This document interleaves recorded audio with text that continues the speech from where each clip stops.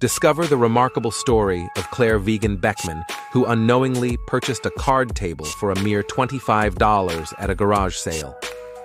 Little did she know that this seemingly ordinary table was one of just six crafted by the esteemed Boston furniture maker John Seymour and Son. Fast forward 30 years, and this 18th century treasure fetched an astonishing $541,500 at auction in 1998.